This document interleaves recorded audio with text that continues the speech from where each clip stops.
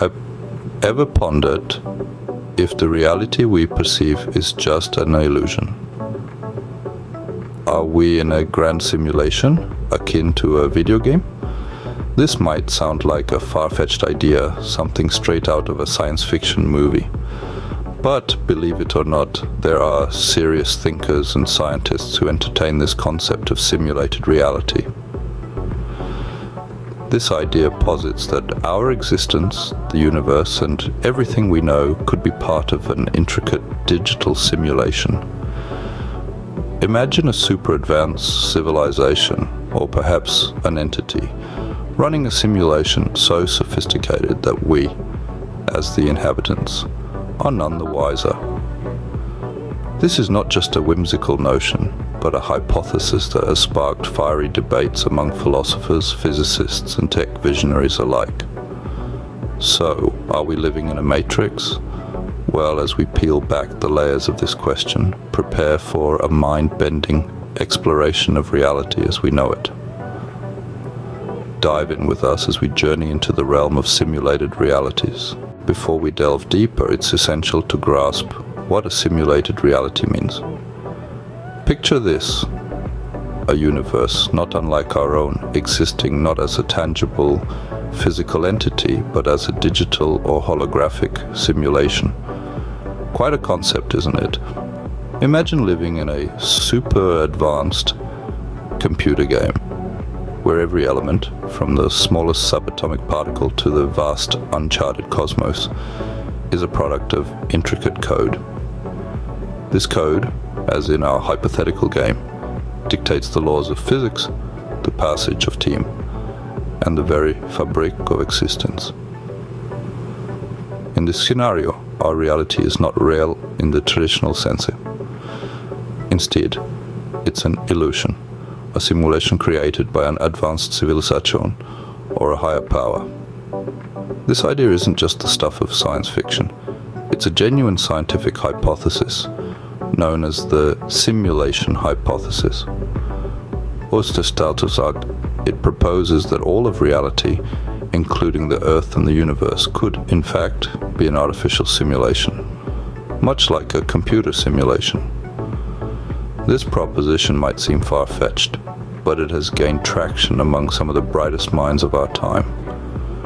Elon Musk, the visionary behind SpaceX and Tesla, has publicly stated his belief that the odds are in favor of us living in a simulation. Philosopher Nick Bostrom, too, has argued that future generations might run detailed simulations of their ancestors, essentially creating a simulated reality. While these scenarios might seem straight out of a sci fi movie, they are rooted in our understanding of computer science, quantum mechanics, and cosmology.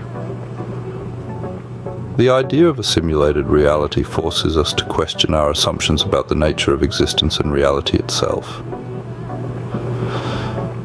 Now that we have a basic understanding of simulated reality, let's examine the arguments surrounding it. Whether we're living in a matrix or not, the exploration of these ideas is bound to take us on an exciting intellectual adventure challenging our perceptions and expanding our understanding of the universe we inhabit. There are compelling arguments, both for and against the simulation hypothesis. Let's consider them. Supporters of the simulation hypothesis often point to physical evidence and philosophical arguments. For instance, the fine-tuning of the laws of nature suggests that our universe operates within a set of precise parameters, which some interpret as signs of a programmed reality.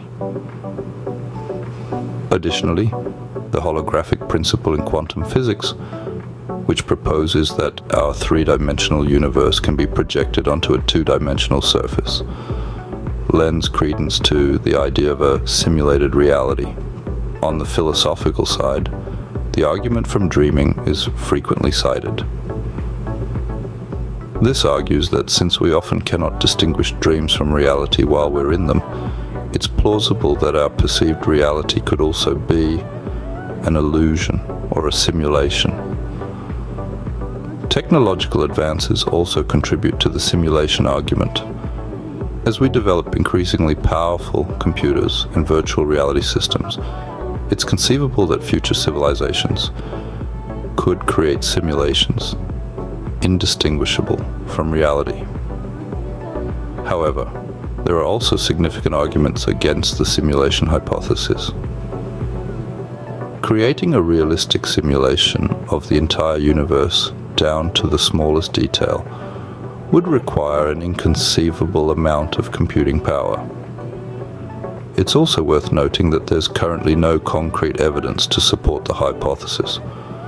We have yet to uncover any glitches in the matrix that would unequivocally prove we're living in a simulation. Philosophical objections also exist, such as the problem of the simulator. If we are in a simulation, who or what is running it? And could they too be in a simulation?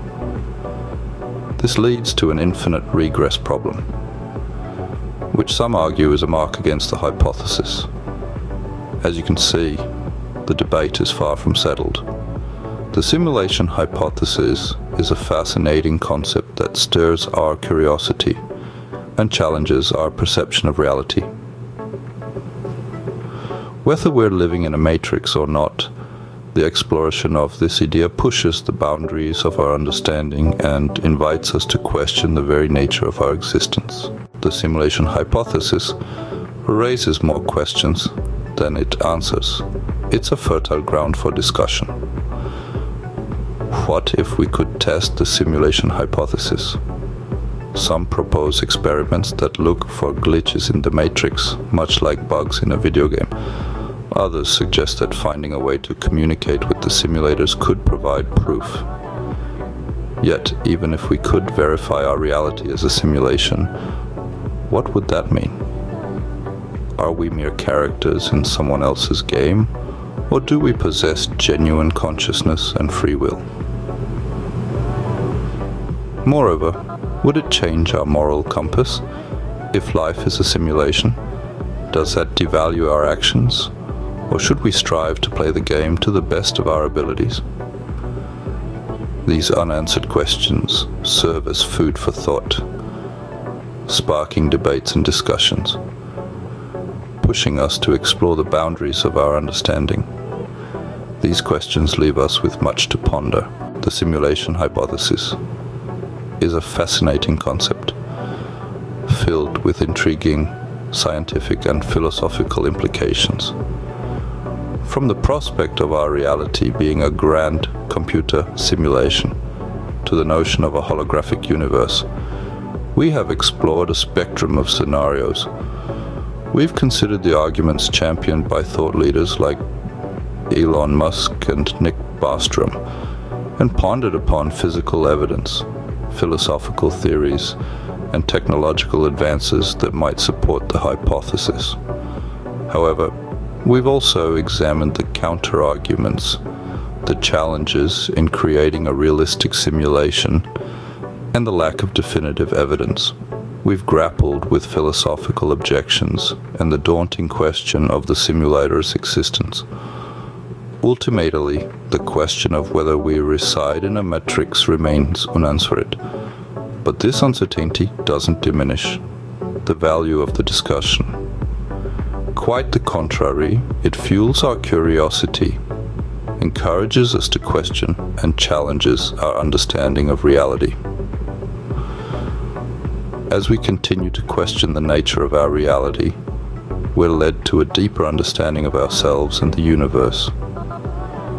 The journey indeed continues.